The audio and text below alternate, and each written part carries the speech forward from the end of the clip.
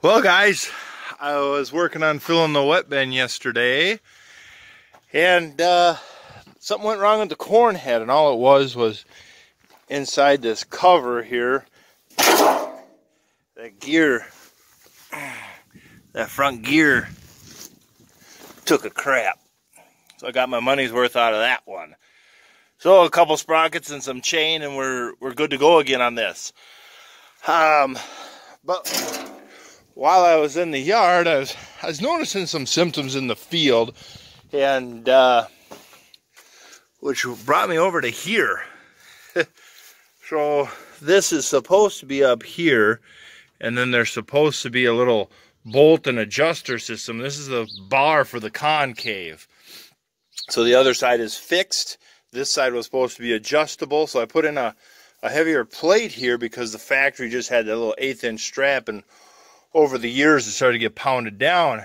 Um, so yeah, it broke that little bolt and plate out of there. So I'll have to I'll have to come in here and lift this up back to here and then uh, cut this metal away trim that metal away pound away whatever and then figure out how to get a plate welded in there.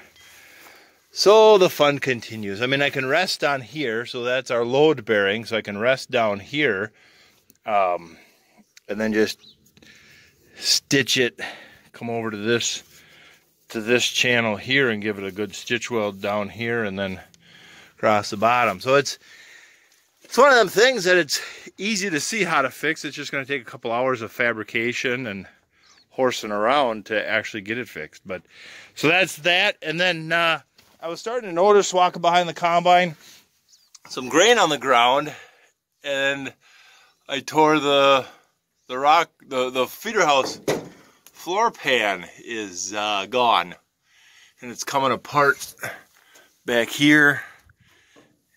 I suppose you know we're getting close to that five thousand hour mark, and ah, so order them parts, get them coming, so when they get here, then a guy can pop them in quick, I guess, and go from there. Not fun, not fun, but could be worse. So I guess that's today, is uh, fixing that piece and and that piece. So Friday, today's Wednesday, the parts won't be until Friday morning. Um, ordered them late last night. But yeah, so let's get going.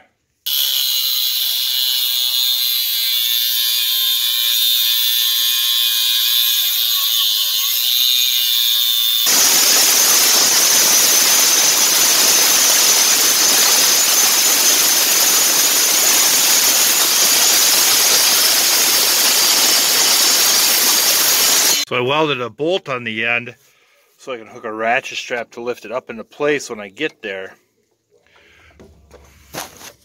But he he just has that little bit of slop. I think we just put it in the vise and squeeze it just a, a tiny bit.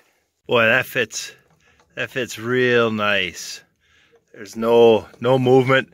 So I can get that mounted. So then being that this can take a brunt of the weight, the plate that it welds to doesn't have to be so heavy, but I'll find what I can laying around. So then I'll torch this plate. So that's about where I want that bushing to fit. This top piece will go away. I'll just torch the plate to fit that. Come across the top. Um, Cause that, there's a lot of weight on that piece. So it's not like that, that concave bushing can just jump up and out. Um, I might rotate this a little bit because a lot of the force, you know, you got a tremendous amount of force coming down when you hit that slug of beans, but there is some force going back. Um, so it might rotate that a little bit, but for the most part, it's not going to hop out of there. The biggest thing is just to get, I'll have to find another piece of steel.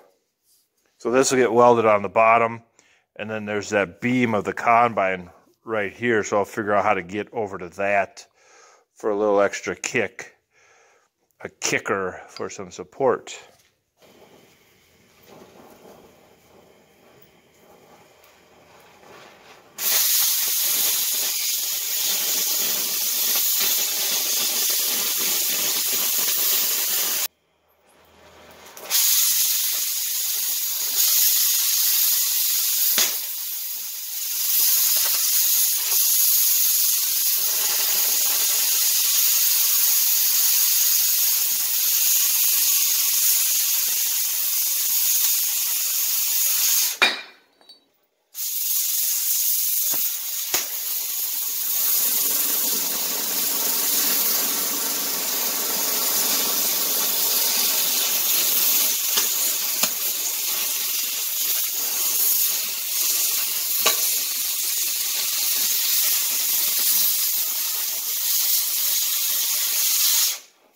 Well, got it in there.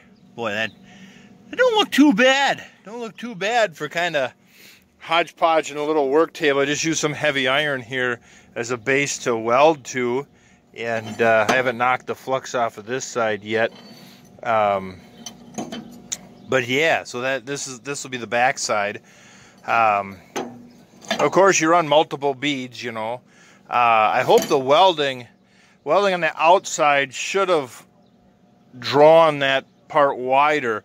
Um, like you say, if you ever want to remove a bearing off of something that, or anything that's stuck in a housing, a bushing or anything, you lay a bead on the inside and it will suck that part in and then you just remove it. But um, I'll cool it off and then we'll test fit it. Guys, look at that. That thing just fit right in there. Oh, man. That is nice. I had to cut a hole because there's a bolt right there. I will never remove that bolt in the rest of my life with this combine, hopefully. If I do, I will just nip it from the inside with the torch. Um, I got good steel over here. I just got to put the strap back on, take the weight off, pull this off, and uh, clean up the paint where it's going to rub. Um,